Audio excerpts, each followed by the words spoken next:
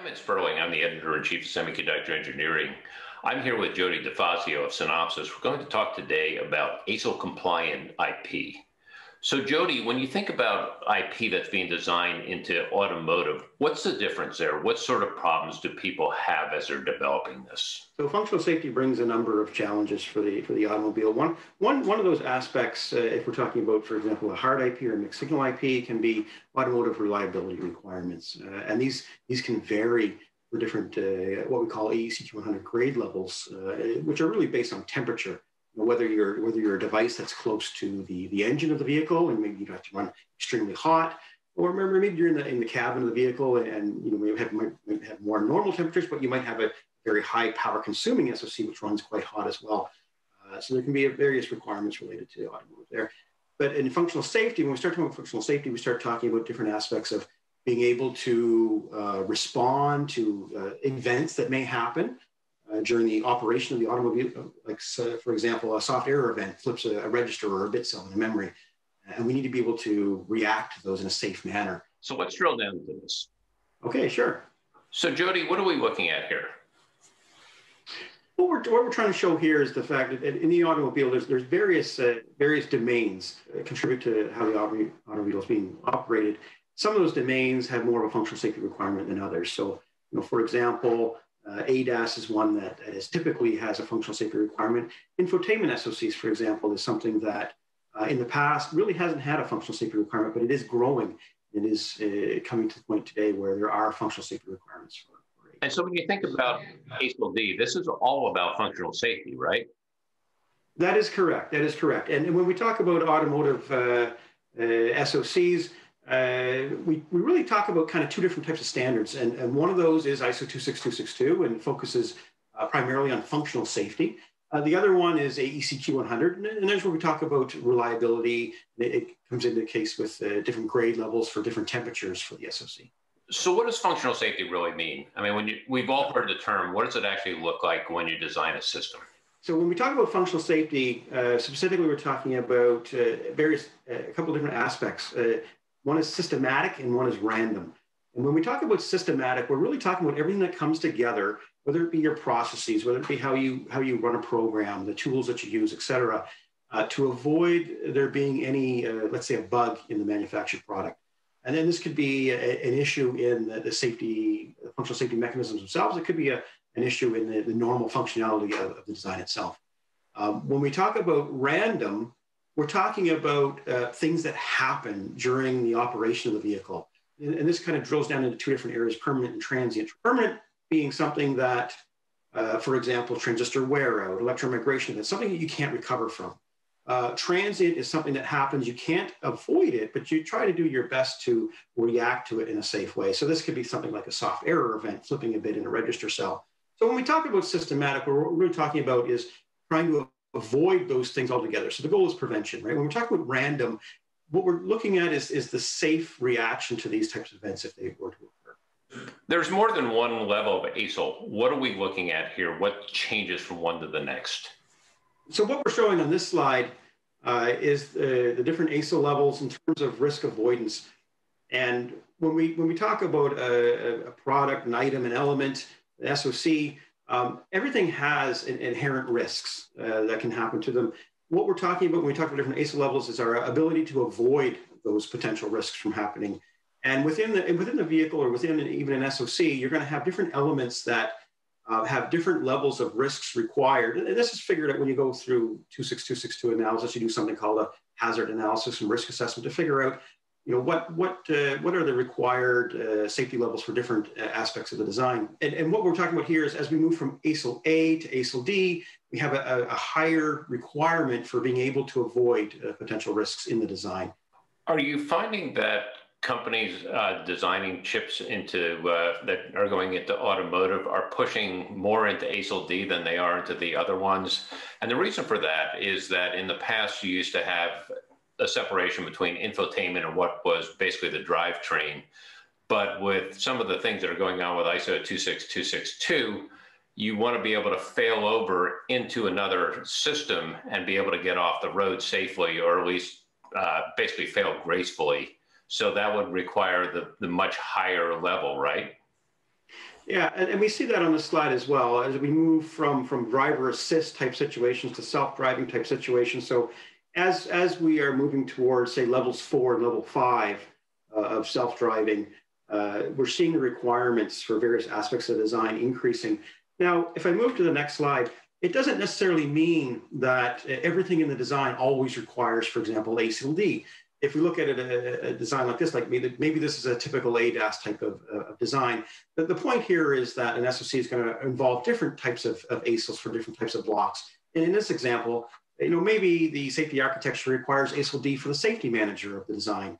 Uh, because it's really looking at, you know, if something goes wrong, it needs to know what's happening and it needs to be able to take control. So it's, it's got a high, uh, it needs a high ability to, to avoid uh, potential risks a PCI Express interface, for example, maybe that's ASIL B, and maybe that's maybe that's sufficient, and that could be because there's other elements in the protocol that are helping to keep the interface safe. Maybe there's higher level elements in the in the various SOC and systems that can detect if there's something wrong in the PCI in, interface as well, and, and, add to its overall functional safety.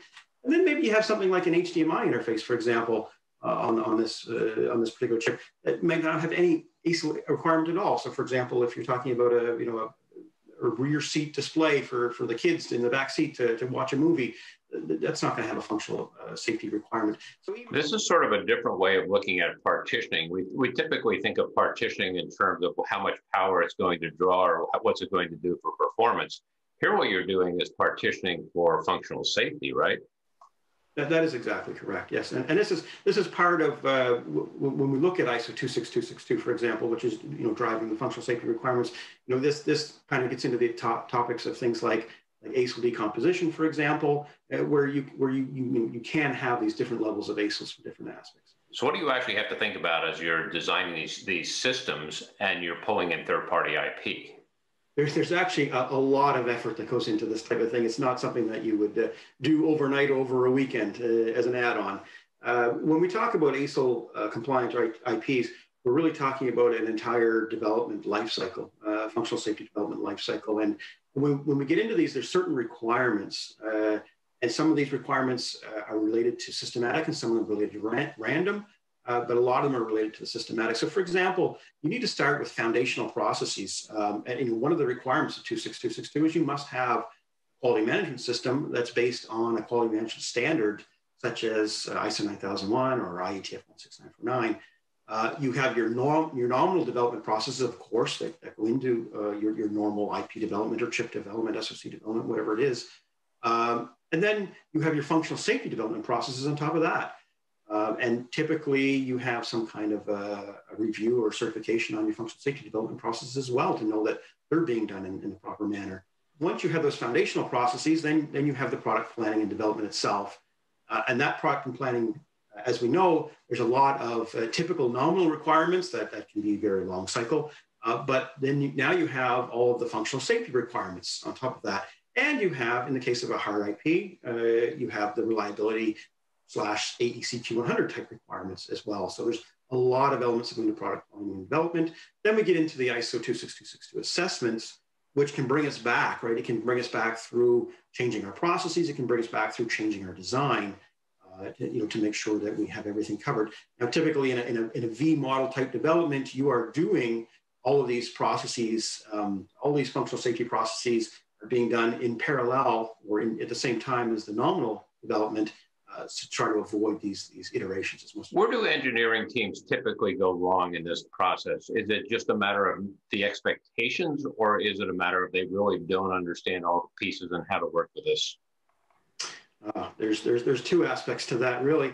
Um, in, in, one aspect, it's a lot that the teams may not understand what they're getting themselves into. 26262 requirements uh, are, are quite uh, involved, right? And, and this, this slide kind of shows a little bit about that, but the, the point here is not to read through all the, the all of the slide. It's to show that there's a, a, lot of aspects involved with 26262. It's a very, uh, it's an intensive process. It's a very formal process as well. Uh, so a, a lot of times uh, people don't really understand what it is that they're getting into and all of the extensiveness of the requirements. The other aspect is uh, how do you design for functional safety? How do you cover things uh, like, like random hardware faults. What, what's really the best way to do those things? And it can have a, a, major impact on, on the design itself.